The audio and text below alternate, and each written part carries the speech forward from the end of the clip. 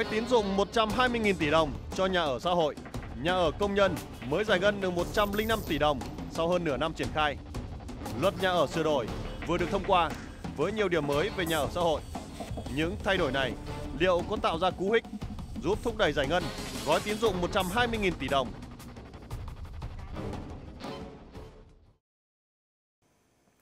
Thưa quý vị, Quốc hội vừa thông qua luật nhà ở sửa đổi với nhiều điểm mới về nhà ở xã hội, được kỳ vọng sẽ tháo gỡ kịp thời những vướng mắc trong quá trình triển khai. Bởi thực tế, dù đã có chính sách tín dụng 120.000 tỷ đồng dành riêng cho vay nhà ở xã hội, nhà công nhân, với mức lãi suất ưu đãi cho cả chủ đầu tư và người vay mua nhà, nhưng sau hơn nửa năm tỷ lệ giải ngân khá chậm.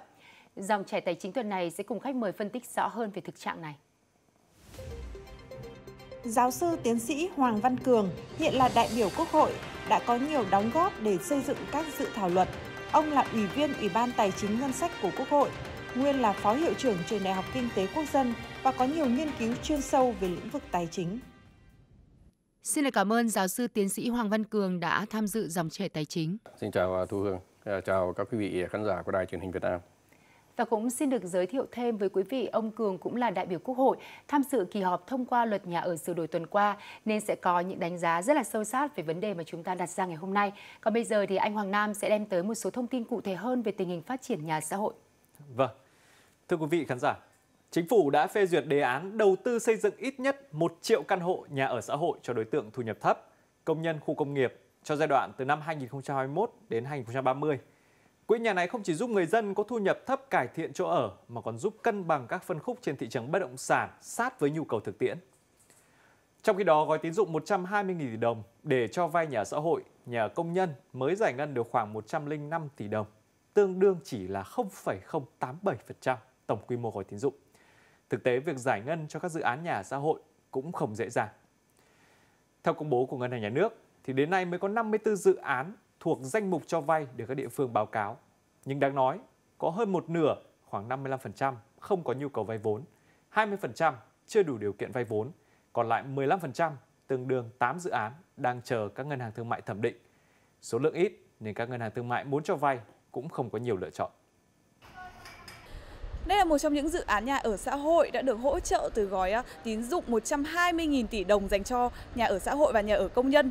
Từ tháng 7 đến nay thì dự án đã được giải ngân con số tiền lên đến một gần 100 tỷ đồng và dự kiến đến cuối năm nay sẽ được giải ngân thêm 150 tỷ đồng nữa. Đây cũng đang là dự án nhà ở xã hội có số tiền được giải ngân nhiều nhất hiện nay. Theo như doanh nghiệp chia sẻ, để có thể vay vốn ưu đãi, họ đã chủ động cung cấp đầy đủ hồ sơ pháp lý minh bạch và rõ ràng cho ngân hàng thực hiện việc dự án nhà ở xã hội thì nó không chỉ đến từ việc cái nỗ lực riêng của chủ đầu tư hoặc là à, sự hỗ trợ liên quan đến tài chính à, các thủ tục liên quan đến pháp lý của dự án ví dụ như là đấu thầu lựa chọn nhà đầu tư tính giá tiền sử dụng đất hoặc là những cái thủ tục liên quan đến người dân hiện tại mới chỉ có 3 dự án nhà ở xã hội tại 3 địa phương được giải ngân sau khoảng nửa năm thực hiện. Nguyên nhân được cho là phần lớn các dự án hiện vẫn còn gặp khó khăn và vướng mắc trong quá trình chuẩn bị hồ sơ pháp lý để đủ điều kiện cho các ngân hàng thương mại xem xét giải ngân.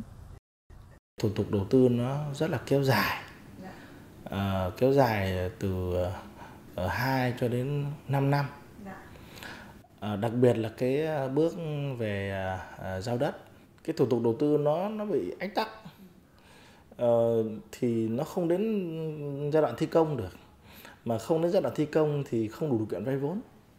Theo Ngân hàng Nhà nước, tổng số tiền các dự án có nhu cầu vay ưu đãi cho nhà ở xã hội, nhà ở công nhân là khoảng 27.000 tỷ đồng. Vì thế, dư địa còn lại là rất lớn. Các ngân hàng thương mại sẵn sàng nguồn vốn cho vay. Điều quan trọng, các dự án cần đáp ứng đầy đủ quy hoạch, các thủ tục đầu tư theo đúng quy định của pháp luật. À, thưa ông Cường, gói tín dụng 120.000 tỷ đồng nhưng mới giải ngân được 105 tỷ đồng. À, vì sao tỷ lệ giải ngân lại chậm như vậy thưa ông? À, chúng ta thấy rằng là qua cái ờ, phần phóng sự mà vừa xong đấy thì chúng ta nhìn thấy ngay là cái ờ, việc mà số dự án để mà đủ điều kiện cho vay thì rất ít mới có 54 dự án là đủ điều kiện. À, trong khi đó thì có nhiều dự án người ta cũng không muốn vay. Đấy. điều ấy chứng tỏ rằng là gì? Một là chúng ta chưa có nhiều cái nguồn để sẵn sàng hấp thụ cái dòng vốn này. Thứ hai là cái chính sách cho vay ấy, như vậy cũng chưa hấp dẫn chưa hấp dẫn cho nên là có những chủ đầu tư đầu tư dự án nhà xã hội nhưng người ta không muốn vay. Vì là cái lãi suất cho vay ấy, thì cũng còn đang khá là cao chúng ta đang xác định khoảng 8,2% thời gian cho vay thì lại chỉ tối đa 5 năm thôi. Thế nếu như mà người ta mà lại đi vay vào cái gói hỗ trợ này ấy, thì người ta sẽ lại bỏ lỡ cơ hội để vay cái gói hỗ trợ mà đúng nghĩa là hỗ trợ nhà ở xã hội của ngân hàng chính sách là lãi suất cho vay có thể khoảng 4 đến 5% và thời gian cho vay có thể kéo dài thậm chí đến 25 năm. Chính như vậy thì người ta phải lựa chọn. Đấy. Điều này chúng ta thấy rằng là một cái chủ trương về cái việc là dành một cái nguồn vốn để hỗ trợ cho một chương trình đầu tư nhà ở xã hội là đúng. Nhưng mà cách thức chúng ta triển khai nó đang vướng và nó chưa đáp ứng được đúng cái mục tiêu chúng ta mong muốn. À, chúng ta cũng vừa thấy là số lượng các cái dự án nằm trong danh mục được công bố được à, tiếp cận về gói tín dụng này khá là thấp, có 54 dự án thôi. Vậy thì phải chăng là câu chuyện về pháp lý thì nó cũng đang có vấn đề đúng không ạ? Trên thực tế về mặt pháp lý để triển khai được một cái dự án nhà ở xã hội ấy, nó còn khó hơn nhiều lần so với triển khai một cái nhà án nhà ở thương mại. Chúng ta hiện nay đang trong cái luật à, hiện hành đấy mà trước khi một cái luật sửa đổi của luật nhà ở này ấy, thì quy định rằng là những cái dự án mà phát triển nhà thương mại của những đô thị từ loại 3 trở lên ấy, thì phải dành khoảng 20% à, quỹ đất để phát triển nhà ở xã hội. Và cái quy định này ấy, thì nó gặp phải một cái vướng là thế này là có thể có những cái dự án nó nằm ở những cái vị trí mà nó gọi như đất vàng. Người ta phát triển những nhà thấp tầng. Thế bây giờ làm sao dành 20% phát triển nhà ở xã hội thì làm thế nào? Và như vậy thì vô hình chung nếu như người ta làm nhà xã hội có rất có thể là dẫn tình trạng là gì? Tiêu cực xảy ra. Bởi vì nó không thể là cái nhà ở thấp tiền ít tiền được. Vướng thứ hai là chúng ta có ưu đãi là đất dành cho nhà xã hội thì được miễn tiền sử dụng đất. Thế nhưng mà để được miễn tiền sử dụng đất ấy, thì lại phải làm thủ tục là định giá đất xem là bao nhiêu. Sau định giá đất xong rồi thì bắt đầu phải làm thủ tục thì xin miễn. Và như vậy vô hình chung ấy, để giao đất cho các nhà đầu tư ấy là phải gấp hai lần thời gian so với lại thương mại. Nhà thương mại chỉ định giá đất xong là xong. Đấy, và như vậy thì rất nhiều những yếu tố thủ vướng mắc kể cả về mặt đất đai, kể cả về mặt cơ chế tài chính, kể cả về mặt cơ chế xác định chủ đầu tư nó làm cho cái chuyện là cái số lượng dự án nhà xã hội nó không được nhiều. Vâng, có thể thấy là còn có rất là nhiều những cái rào cản. Thế nhưng mà những cái vướng mắc này thì cũng đang dần được gỡ bỏ đấy ạ. Khi mà luật nhà ở sửa đổi vừa được thông qua với nhiều điểm mới về nhà xã hội. Vậy thì ông đánh giá đâu sẽ là những thay đổi quan trọng nhất để có thể gỡ nút thắt về cho vay nhà ở xã hội? Đúng là cái luật nhà ở mà vừa mới thông qua xong đấy, có lẽ là nổi lên mấy cái điểm chính như thế này. Thứ nhất ý, là cái loại hình nhà xã hội trong luật nhà ở này thì đã mở rộng hơn. Tức nhà bao gồm có cả nhà để bán, nhà để cho thuê mua và nhà cho thuê. Và đặc biệt trong chính cái luật này thì rất là khuyến khích phát triển cái loại hình là nhà cho thuê. Và chính nhà cho thuê mới là một cái phương thức mà có thể đáp ứng để cung cấp cho cái người mà thu nhập thấp ấy có chỗ ở tốt chứ không phải chạy theo mục tiêu là người thu nhập thấp phải sở hữu được nhà. Cái thứ hai mà cũng đã gỡ được cái um, khó vướng ở về cái cái việc là giành đất. Trước đây chúng ta quy định cứng là 2%. Thì trong cái luật nhà ở sửa đổi hiện nay không quy định cụ thể tỷ lệ bao nhiêu. Nhưng mà giao cái trách nhiệm đấy là cho chính quyền địa phương. Tùy theo cái địa phương, tùy theo cái địa bàn đó, người ta cần nhiều đến nhà xã hội thì người ta quyết định cái tỷ lệ cao hơn. Còn cái địa bàn nào nó không cần nhiều lắm thì tỷ lệ thấp hơn. Và cũng không áp đặt là cứ phải từng dự án một, mà có thể trong từng dự án đó, hoặc là có thể nhà dự án đấy người ta dùng cái đất đấy để phát triển nhà thương mại, thì người ta phải trả tiền cho cái tiền đất đã có ở tầng đấy để làm một khu vực nhà ở xã hội ở một khu vực khác như vậy nó linh hoạt hơn. Cái điểm thứ ba mà chúng ta cũng thấy đã gỡ là vấn đề liên quan đến cái mà trước đây chúng ta nói rằng được miễn tiền dụng đất thì phải đi là vòng vèo là phải đi định giá rồi là phải xin miễn. Thì bây giờ đã công bố là miễn tiền dụng đất có nghĩa là gì? Đất đấy đã xác định là nhà xã hội thì coi không phải định giá nữa và đương nhiên được miễn luôn không phải làm thủ tục gì cả. Đấy, như vậy nó đỡ hẳn một cái thủ tục hành chính rất dài dòng. Và vấn đề thứ tư là vấn đề xác định cái chủ đầu tư. Chủ đầu tư bây giờ cũng xác định rất rõ là như vậy những điều kiện như thế nào thì sẽ được công nhận là chủ đầu tư nhà ở xã hội, không cần phải đấu thầu, không cần đấu giá gì cả trường hợp nào có nhiều nhà đầu tư quan tâm thì khi đấy mới cần thiết phải đấu thầu và trong đấy cũng có một cái điểm mở mới là tổ chức công đoàn cũng được đưa vào công nhận là một cái chủ đầu tư trong việc tham gia để đầu tư phát triển nhà ở xã hội. À, ông cũng vừa nhắc đến một cái điểm mới đó là à, Tổng Liên đoàn Lao động Việt Nam sẽ tham gia vào việc à, xây dựng nhà ở xã hội để tăng nguồn cung. Vậy thì theo ông giải pháp này sẽ tháo gỡ như thế nào về nguồn cung cho cái phân khúc này ạ? Thì chúng ta lại phải thấy một cái điều thế này. Cái nguồn kinh phí này là kinh phí bằng kinh phí của tổ chức đoàn chứ không phải kinh phí động ở đâu cả. Và kinh phí của tổ chức đoàn thì là kinh phí do đoàn viên đóng góp lên. Thứ hai nữa là cái nhà ở cho công đoàn xây dựng ấy là nhà ở cho thuê chứ không phải là bán. Mà cho thuê tức là gì? Bỏ một tiền cọc đấy trong cái nhặt tiền dần. Và cho thuê thì lại là cái giá là giá hỗ trợ phải giá thấp chứ không phải kinh doanh. Không phải là nhà công đoàn đứng ra lấy tiền công đoàn viên đóng góp nào xong rồi lại kinh doanh lấy lời. Mà cho thuê như vậy là giá phải thấp. Như vậy tức là gì? Cái phần thì thu lại ấy, nó sẽ không thể tăng lên để tạo ra nguồn tích lũy mới để đầu tư nhiều hơn nữa. Và như vậy ấy, cái nguồn lực kinh phí mà đầu tư cho các dạng nhà ở mà do tổ chức công đoàn đầu tư này ấy, nó cũng không phải là quá nhiều như là các cái tổ chức được khác đầu tư à, chẳng hạn như doanh nghiệp kinh doanh. Đấy và như vậy thì tôi cho rằng là cái giá trị lớn nhất của cái dạng nhà ở mà do tổ chức công đoàn đầu tư ấy nó là một cái dạng ta gọi như là một cái hình mẫu của tổ chức công đoàn tham gia vào cả về phía cung và tham gia cả vào phía đứng về người lao động.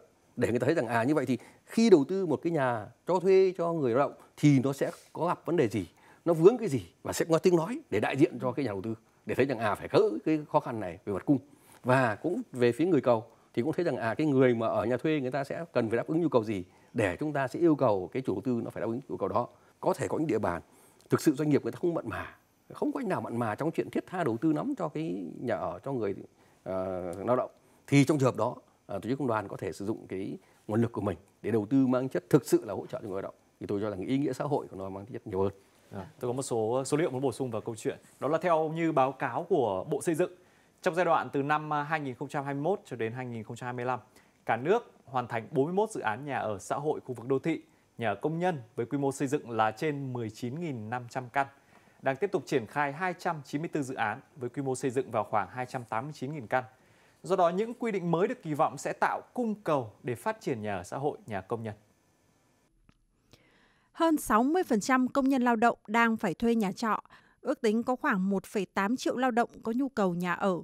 Để đáp ứng nhu cầu này, luật nhà ở sửa đổi đã cho phép Tổng Liên đoàn Lao động Việt Nam là cơ quan chủ quản dự án đầu tư xây dựng nhà ở xã hội bằng nguồn tài chính công đoàn. Tổng Liên đoàn Việt Nam sẽ đứng ra như thể là quản lý, như thể đầu tư của nhà nước. Đấy thì sẽ chỉ định là ban quản lý dự án là đơn vị uh, sự nghiệp công lập uh, để mà đầu tư làm chủ đầu tư cái dự án này.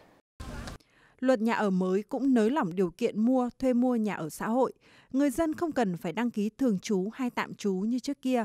Việc nới lỏng những quy định để mở rộng thêm các đối tượng người dân có thể vay mua nhà cũng là đề xuất của nhiều chủ đầu tư dự án. Các cái điều kiện để ờ, mua nhà xã hội sẽ được nới ra và ờ, nó cụ thể hơn từng nhóm đối tượng khác nhau. Thì như vậy thì nó làm cho cái việc mà các cái nguồn cung cho phát triển nhà xã hội trong thời gian tới là nó sẽ có một cái, dạ, những cái, những giải pháp về các cái chính sách là nó được thông thoáng hơn và thuận lợi hơn cho việc phát triển nhà xã hội. Rất nhiều nhóm nhà ở xã hội có những cái mục đích khác nhau. Ví dụ như ở Văn Phú Invest có một cái dự án là dự án nhà ờ, nhà ở công nhân thu nhập thấp và chính vì là dự án nhà ở công nhân nên đối tượng mua chỉ là công nhân thôi và công nhân thu nhập thấp là công nhân mà họ phải có một cái phần thu nhập mà đủ, chưa đủ điều kiện để ờ, À, nộp thuế thu nhập cá nhân tức là dưới 9 triệu dưới 10 triệu ngoài những đối tượng công nhân thì chúng ta vẫn có thể là áp dụng 10 đối tượng như là các đối tượng khác của nhà ở xã hội cái thứ hai là cái gói tín dụng thì có thể là xem xét mở rộng hơn ưu đãi hơn cho ờ, công nhân thì khi đấy họ sẽ mở rộng được đối tượng để họ mua nhà Quay trở lại với câu chuyện của gói tín dụng 120.000 tỷ đồng. Vậy thì theo ông thì chúng ta cần những cái giải pháp gì tiếp theo đây ạ để à, có thể à, đẩy nhanh cái nguồn vốn này à, ra phát triển phân khúc nhà ở xã hội?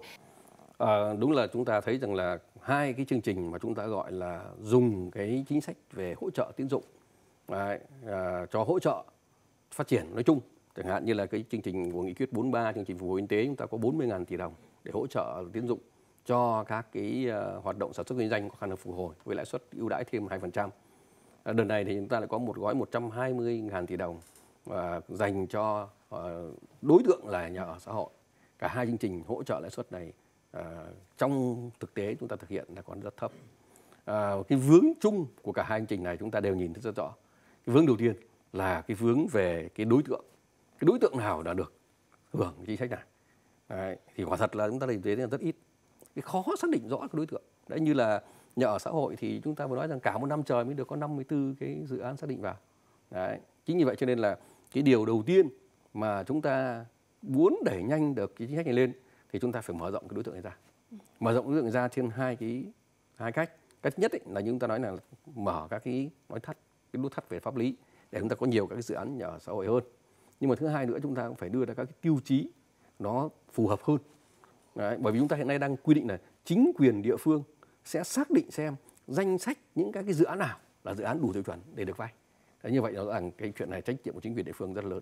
Là chúng ta phải mở rộng cái uh, tiêu chuẩn ra để chúng ta thấy rằng là à, sẽ có nhiều cái đối tượng nhà ở mà sẽ cần phải được đưa vào chương trình hỗ trợ này. Cái yếu tố thứ hai là chúng ta cũng phải hướng vào là gì là phải hấp dẫn.